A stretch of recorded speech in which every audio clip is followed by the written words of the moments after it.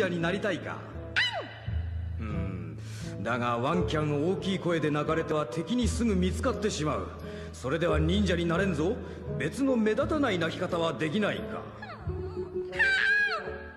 ワム？ダメだダメだ。もっと肩の力を抜いて。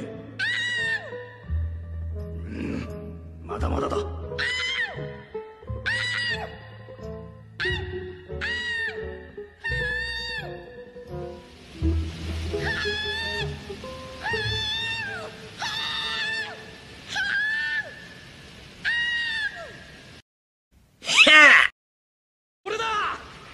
もう一度泣いてみろ。